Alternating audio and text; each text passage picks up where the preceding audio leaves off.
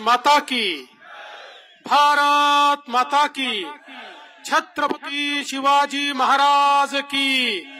धर्मवीर छत्रपती संभाजी महाराज की। जय भवानी।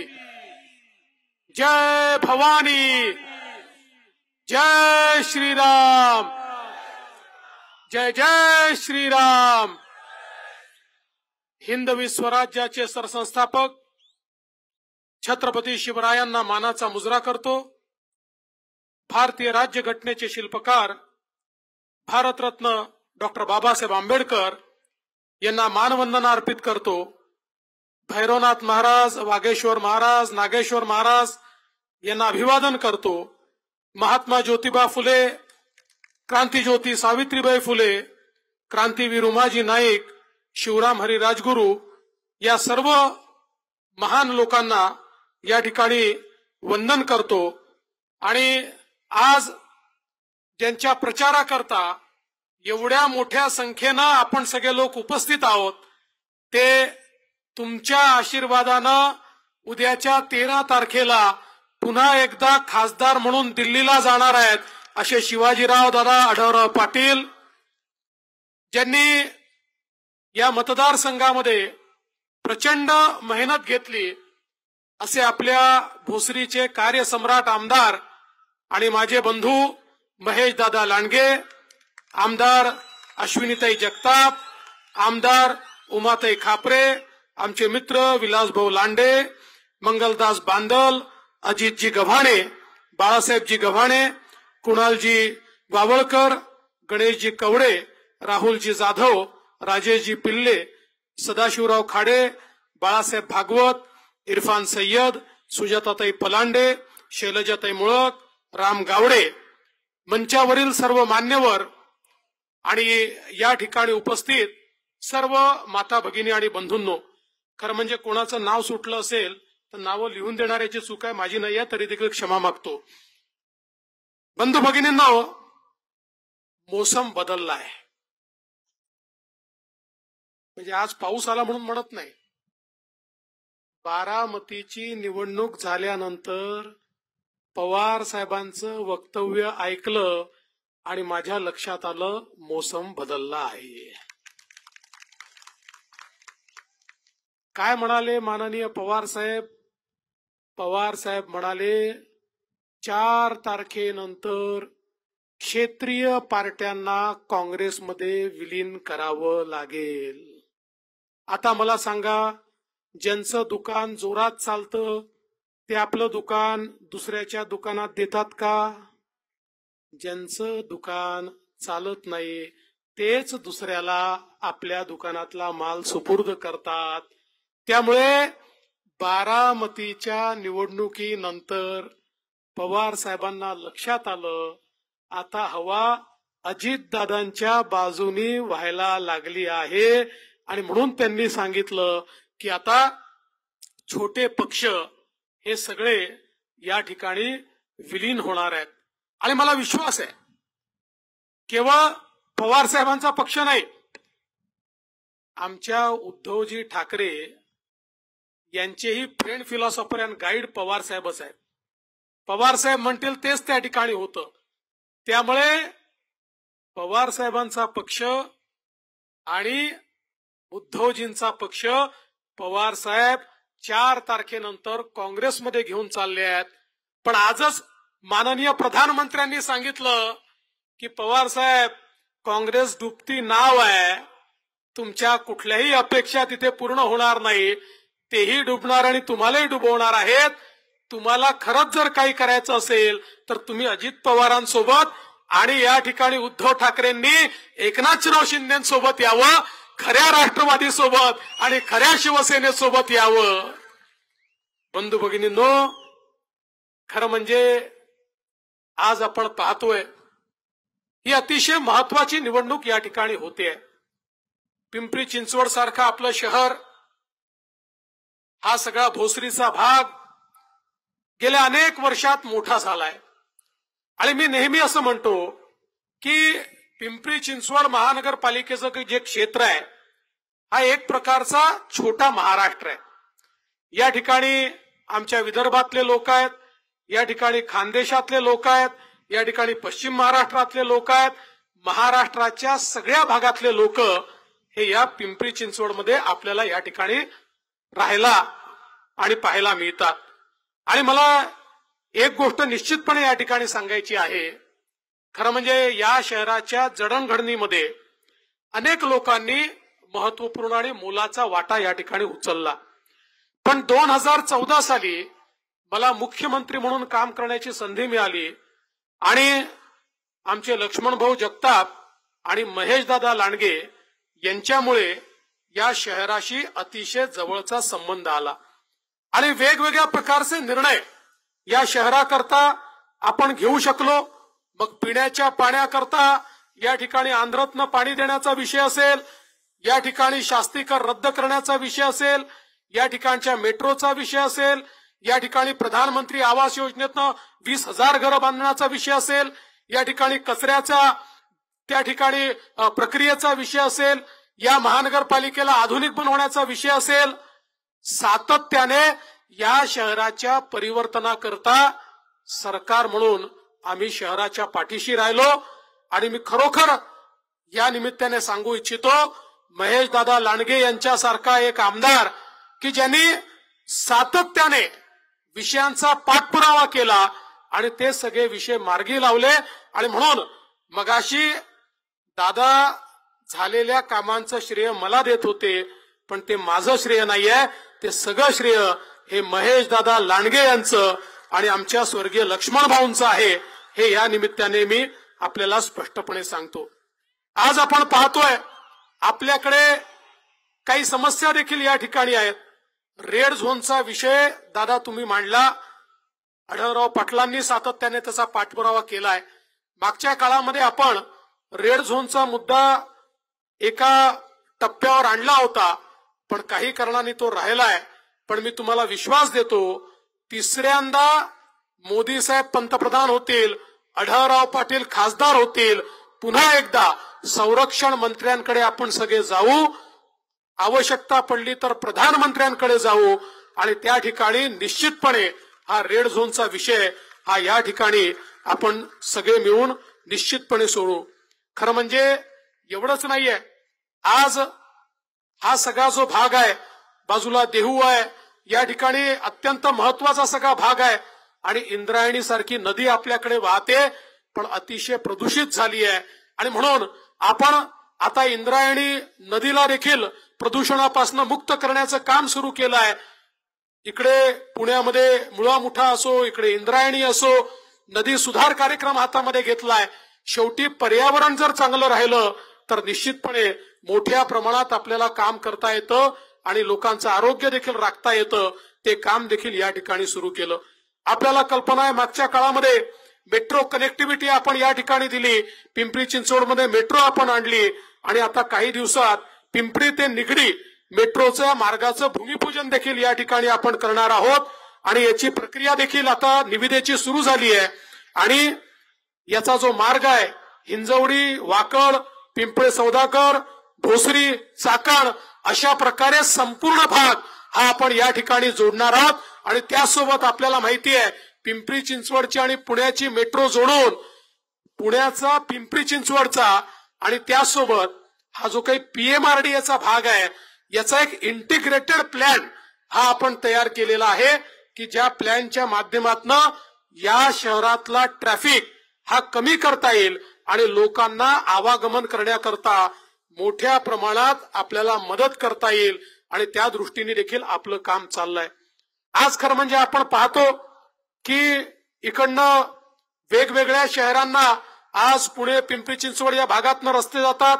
नगरकडे असेल सोलापूरकडे असेल वेगवेगळ्या आपल्या शहरांना जी काही कनेक्टिव्हिटी आहे या पुणे आणि पिंपरी चिंचवडच्या भागामध्ये शहरातनं बाहेर निघणं कठीण आहे. आणि बाहेर निघाल्यानंतर तर अशी अवस्था होते की त्या ठिकाणी तीस चाळीस किलोमीटर जायला दोन दोन अडीच अडीच तास लागतात.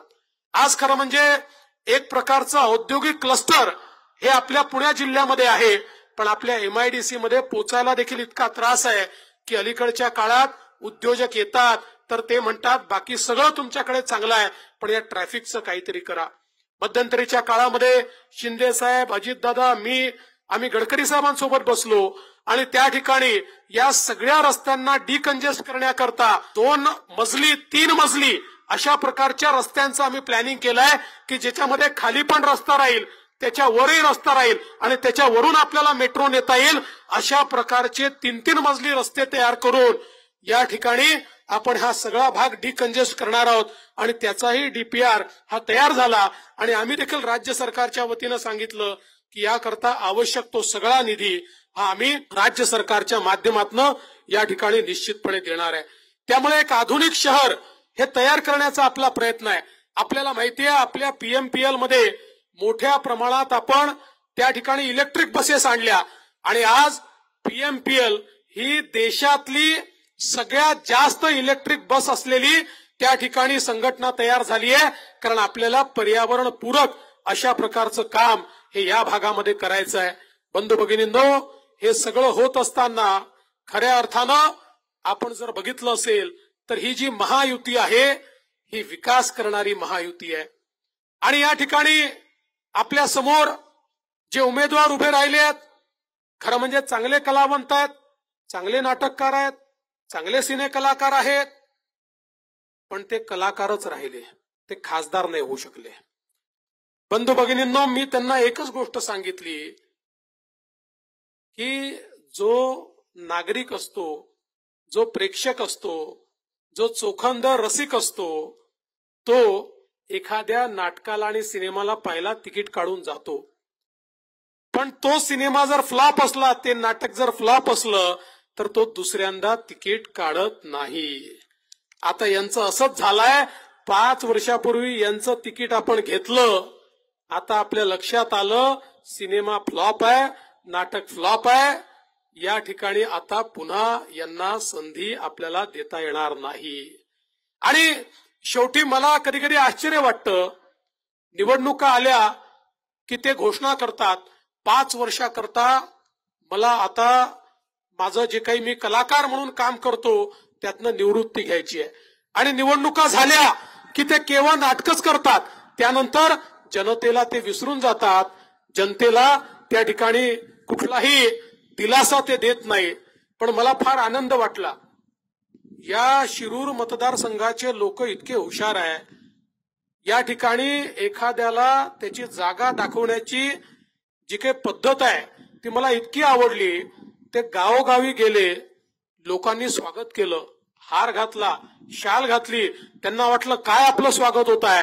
आणि मग त्यानंतर त्यांना विचारलं पाच वर्षांनी येत आहे आतापर्यंत कुठे होतात आणि आता कशाला आलात?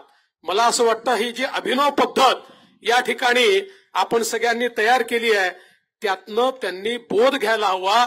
बघा एकीकडे पाच वर्ष त्यांना आपण खासदार बनवल्यानंतरही ते आपल्याला दिसले नाही. आणि आढळराव पाटील पाच वर्ष खासदार नव्हते तरी देखील पूर्णपणे या ठिकाणी आपल्याकरता काम करत होते आणि आपल्या समस्या मांडत होते. आणि एवढंच नाही तर पुन्हा एकदा शिंदे साहेबांच्या नेतृत्वात आपलं सरकार आल्यानंतर मोठ्या प्रमाणात विकासाचा निधी देखील या संपूर्ण मतदारसंघामध्ये आढळराव पाटलांनी आणला. आणि म्हणून बंधू भगिनींनो खरं म्हणजे आपण जर बघितलं तर ही जी निवडणूक आहे ही काही ग्रामपंचायतची जिल्हा परिषदेची निवडणूक नाही आहे ही विधानसभेची निवडणूक देखील नाही आहे ही देशाच्या लोकसभेची निवडणूक आहे. आपल्याला आपल्या देशाचा नेता निवडायचा आहे. जो आपल्या देशाला मजबूत ठेवू शकतो सुरक्षित ठेवू शकतो विकासाकडे नेऊ शकतो जो नेता सामान्य माणसाच्या आशा आकांक्षा आणि अपेक्षा पूर्ण करू शकतो अशा प्रकारचा नेता निवडण्याकरता ही निवडणूक या ठिकाणी आहे. आणि आज आपण पाहतोय महाभारताच्या लढाईसारखे दोन गट झाले आहे. एकीकडे पांडव आहेत एकीकडे कौरव आहेत. आणि वेगवेगळ्या सेना कोणी पांडवांसोबत आहे कोणी कौरवांसोबत आहे एकीकडे आपल्याला कल्पना आहे आपले विश्व गौरव असलेले विकास पुरुष माननीय नरेंद्र मोदीजी यांच्या नेतृत्वामध्ये आपली एनडीएची सेना आहे ज्याच्यामध्ये एकनाथरावजी शिंदे यांच्या नेतृत्वातली शिवसेना आहे ज्याच्यामध्ये अजितदादा पवार यांच्या नेतृत्वातली राष्ट्रवादी काँग्रेस आहे ज्याच्यामध्ये मनसे आहे ज्याच्यामध्ये रिपाई आहे ज्याच्यामध्ये पिरिप आहे ज्याच्यामध्ये रासपा आहे ज्याच्यामध्ये जनसुराज्य आहे ज्याच्यामध्ये रयत क्रांती आहे वेगवेगळ्या पक्षाची मोठ बांधून आपली महायुती या ठिकाणी तयार झाली आहे. आणि दुसरीकडे कोण आहे? दुसरीकडे राहुल गांधी आहेत. आणि राहुल गांधींच्या नेतृत्वात चोवीस पक्ष एकत्रित आले आहेत. पण चोवीस पक्ष जरी एकत्रित आले तरी ते नेता नाही ठरवू शकत आहेत. ते म्हणतात राहुल गांधी नेता असतील पण पंतप्रधान पदाचे उमेदवार आम्ही यांना समजत नाही. त्यांची अवस्था अशी आहे आमच्याकडे ठरलाय. उद्याला मोदीजी निवडून येणार आपली महायुती निवडून येणार आणि देशाचे प्रधानमंत्री मोदीजी होणार कोणाच्या मनात शंका नाहीये. पण त्यांची अवस्था काय आहे? त्यांना विचारलं की तुमचा पंतप्रधान पदाचा उमेदवार कोण आहे? ते सांगूच शकत नाही. त्यांच्याकडे उमेदवारच नाही. मग त्यांना विचारलं सांगा कोण आहे? तर ते सकाळी नऊ वाजता एक भोंगा येतो ना टीव्हीवर तो भोंगा म्हणाला आमच्याकडे खूप उमेदवार आहे. आम्ही पाच वर्षात पाच पंतप्रधान बनवू मी म्हटलं फारच चांगलं आहे. मग माझ्या मनात आलं की यांना पाच वर्षात पाच पंतप्रधान बनवायचे असतील तर पहिला कसा निवडतील? मग माझ्या लक्षात आलं आपण लहानपणी संगीत खुर्ची खेळायचो तशी एक खुर्चीमध्ये ठेवतील हे सगळे नेते त्याच्या भोवती रिंगण घालतील आणि मग संगीत बंद झाल्याबरोबर जो पहिला खुर्चीवर बसला तो पहिला पंतप्रधान. पुढच्या वर्षी जो दुसरा बसला तो दुसरा पंतप्रधान. अशा प्रकारे पाच वर्षात पाच पंतप्रधान हे बनवतील.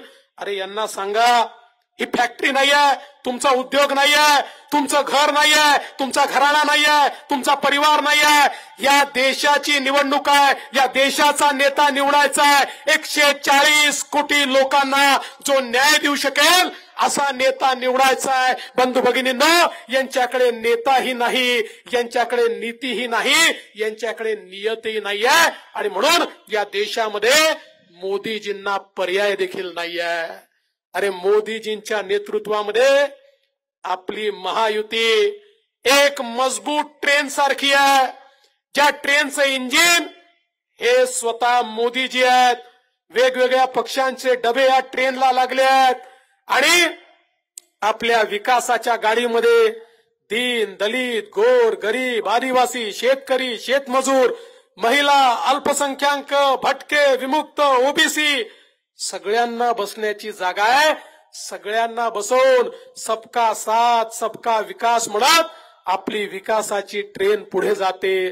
पण तिकडे अवस्था काय आहे? तिकडे डब्बे नाहीच आहे. सगळे इंजिनच आहे. प्रत्येक जण म्हणतो मी इंजिन आहे. राहुल गांधी म्हणतो मी इंजिन आहे. पवार साहेब म्हणतात मी इंजिन आहे. उद्धव ठाकरे म्हणतात मी इंजिन आहे. मुलायम सिंगाचा पोरगा म्हणतो मी इंजिन आहे. लालूंचा पोरगा म्हणतो मी इंजिन आहे. ममता बॅनर्जी म्हणते मी इंजिन आहे. आणि त्या ठिकाणी स्टॅलिन म्हणतो मी इंजिन आहे. पण माझा सवाल आहे सगळेच जर इंजिन आहेत तर इंजिनमध्ये बसायला जागा किती लोकांना असते? ड्रायव्हर शिवाय कोणी इंजिनमध्ये बसू शकत नाही. तसं मनसेचं इंजिन नाही मनसेचं आपल्यासोबत आहे. पण यांच्या इंजिनमध्ये कोणाला बसायला जागा नाही आहे राहुल गांधींच्या इंजिनमध्ये फक्त सोनियाजी आणि प्रियंकाजी बसू शकतात. उद्धव ठाकरेजींच्या इंजिनमध्ये फक्त आदित्य ठाकरेंना जागा आहे. आणि माननीय पवार साहेबांच्या इंजिनमध्ये फक्त सुप्रिया ताईन करता जागा आहे. तुमच्या करता जागा नाही आहे पण ज्या क्षणी आढळराव पाटलांच्या घड्याळाचं बटन तुम्ही दाबाल त्या क्षणी शिरूर मतदारसंघाची बोगी तुम्हाला सगळ्यांना घेऊन मोदीजींच्या इंजिनला लागेल. आणि मग या मतदारसंघाला विकासापासनं कोणीच वंचित ठेवू शकणार नाही. बंधू भगिनींनो ज्या प्रकारे बैलगाडा वेगानं धावतो तशाच वेगानं आपल्याला विकासाकडे धावायचा आहे आणि खऱ्या अर्थानं बैलगाडा शर्यतीच्या संदर्भात या ठिकाणी सांगितलं खरं आहे महेश दादा असतील किंवा शिवाजीराव आढळराव असतील यांनी जी मेहनत केली आहे ती माझ्या डोळ्यांनी पाहिली आहे.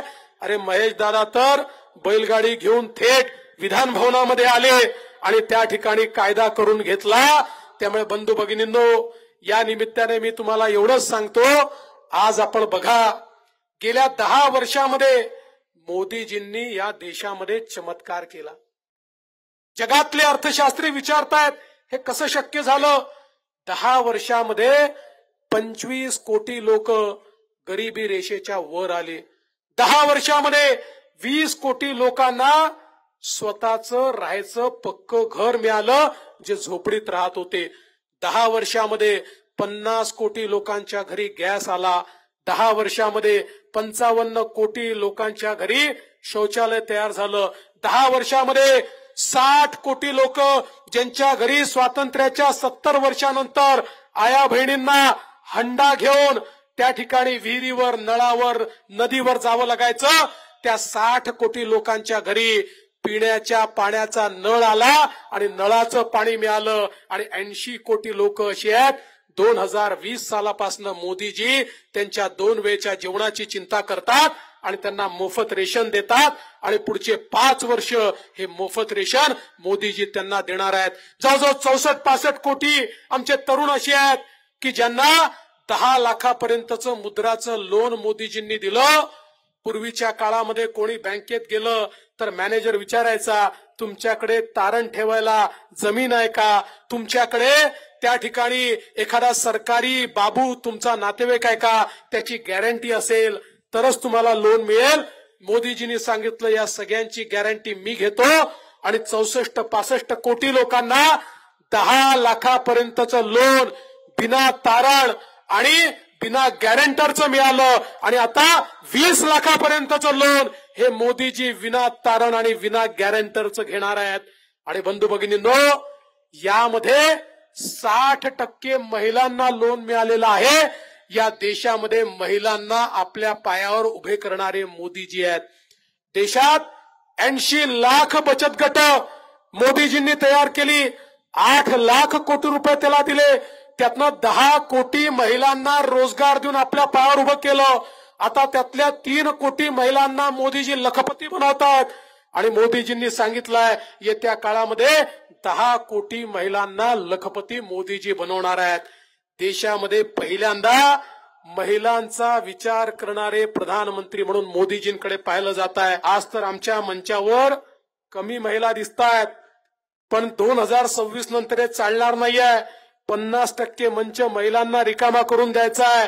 कारण दोन हजार सव्वीस नंतर विधानसभेत तेहतीस टक्के महिला आणि लोकसभेतही तेहतीस टक्के खासदार महिला जाणार आहेत.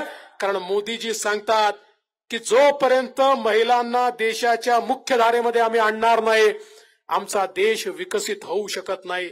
आज आपण पाहू शकतो समाजातल्या प्रत्येक घटकाला मोदीजींनी मदत केली. वयोश्री सारखी योजना आहे ज्यातनं आमच्या वयस्कर लोकांना कानातलं यंत्र असेल कवळी असेल काडी असेल कमोड असेल सगळ्या गोष्टी त्या ठिकाणी दिल्या. सत्तर वर्षाच्या वरच्या सगळ्या लोकांना सगळ्या प्रकारचे उपचार त्या ठिकाणी मोफत पंचावन्न कोटी लोकांना पाच लाखापर्यंतचे उपचार मोफत. दिव्यांगांना देखील त्या ठिकाणी अशा प्रकारचे कृत्रिम पाय जे केवळ फ्रान्स आणि जर्मनीत तयार व्हायचे ते आपल्या देशात तयार केले कालपर्यंत जे चालू शकत नव्हते. आज मोटरसायकलची किक मारतायत आणि मोटरसायकल चालवतायत.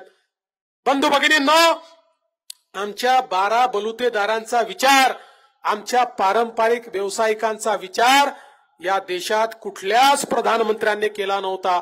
गावगाड्यामध्ये इतके वर्ष ज्यांनी अर्थकारण केलं अशा प्रकारचे आमचे लोक मोदीजींनी त्यांच्याकरता चौदा हजार कोटी रुपयाची विश्वकर्मासारखी योजना आणली.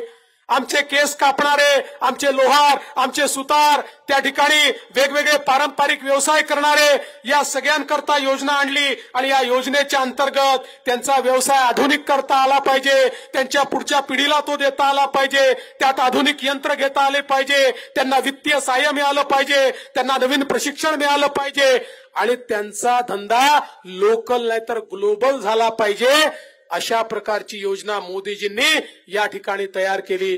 अनुसूचित जातीच्या आमच्या तरुणांना स्टँडअपच्या माध्यमातून उद्योजक बनवलं. आदिवासी समाजाकरता चोवीस हजार कोटी रुपयाची योजना मोदीजींनी आणली. आणि त्या माध्यमातून समाजामध्ये एक मोठं परिवर्तन मोदीजींनी घडवलं. बंधू भगिनींनो आठवा तो कोविडचा काळ ज्या काळामध्ये आपल्या नातेवाईकांकडे जायची चोरी होती मौत मिट्टीला लोक जात नव्हते. प्रत्येकाच्या मनामध्ये चिंता होती. माझ्या परिवारातले लोक वाचतील का? आम्ही पुढचा दिवस पाहू का? पुढे कसं होईल? सगळ्यांच्या नजरेसमोर अंधकार होता. आणि त्या काळामध्ये जगाच्या पाठीवरचे एक्सपर्ट म्हणायचे भारतामध्ये चाळीस पन्नास कोटी लोक तरी मरतील. त्यांना कोणीच वाचवू शकत नाही. जगाच्या पाठीवर केवळ चार देशांनी कोविडची लस तयार केली होती.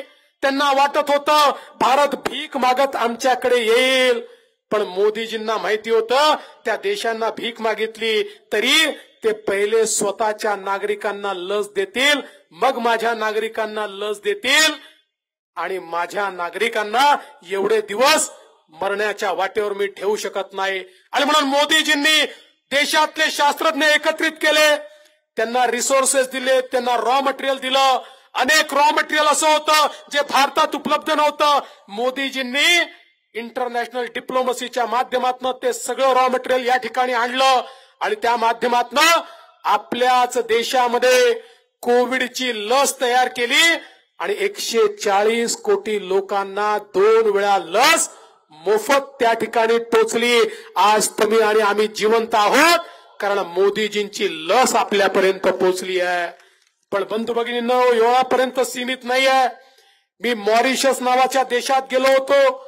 आपल्या मराठी लोकांनी मॉरिशसमध्ये छत्रपती शिवरायांचा पुतळा लावला त्याचं उद्घाटन केलं. उद्घाटन करून मॉरिशसच्या राष्ट्रपतींकडे गेलो. आफ्रिकन ओरिजिनचे हे राष्ट्रपती होते. त्या राष्ट्रपतींना भेटल्यानंतर ते म्हणाले फडणवीसजी तुम्ही माझे धन्यवाद. मोदीजींना सांगा. म्हटलं कशा करता मोदीजींना धन्यवाद? म्हणाले कोविडच्या काळामध्ये मोदीजींनी आम्हाला लस दिली म्हणून माझा मॉरिशस जिवंत आहे. नाही तर माझा मॉरिशस बेचिराग झाला असता आणि म्हणून आम्ही मोदीजींना आता आपला नेता मानतो. आणि बंधू भगिनींनो असं सांगणारे शंभर देश आहेत शंभर देश. की जे म्हणतात आम्ही मोदीजींमुळे जिवंत आहोत. आज आपला नेता केवळ भारताचा नेता नाही आहे शंभर देशाचे राष्ट्रपती आणि प्रधानमंत्री हे मोदीजींना आपला नेता मानतात. अशा प्रकारचं वैश्विक नेतृत्व आज मोदीजींनी आपल्याला दिलाय. आणि म्हणून ही गल्लीची निवडणूक नाही आहे ही दिल्लीची निवडणूक आहे. देश कोण सुरक्षित ठेवू शकेल त्याचा फैसला आपल्याला करायचा आहे. मोदीजींनी आज इतक्या मोठ्या प्रमाणात आपली अर्थव्यवस्था त्या ठिकाणी वाढवली. बाराव्या क्रमांकावर ना पाचव्यावर आली. आता ती तिसऱ्या क्रमांकावर चालली आहे. आणि युपीए सरकारच्या काळामध्ये रस्ते असतील वीज असेल पाटबंधारे असेल पुलं असतील इन्फ्रास्ट्रक्चरवर वर्षाला एक लाख कोटी खर्च व्हायचे. मोदीजींच्या काळात वर्षाला तेरा लाख कोटी रुपये खर्च झाले. आणि म्हणून आज आपण पाहतोय देशामध्ये जे इन्फ्रास्ट्रक्चर तयार होत आहे हे मोदीजींमुळे होत आहे मी तर तुम्हाला विनंती करतो आठवा तो काळ. ज्या काळामध्ये मुंबईमध्ये बॉम्बस्फोट व्हायचे पुण्याला बॉम्बस्फोट व्हायचे बंगलोरला बॉम्बस्फोट व्हायचे वाराणसीला बॉम्बस्फोट व्हायचे. आमचे तेमाचे प्रधानमंत्री काय करायचे? बॉम्बस्फोट झाला की निषेध करायचे? पुन्हा बॉम्बस्फोट व्हायचा? मग तीव्र शब्दात निषेध करायचे?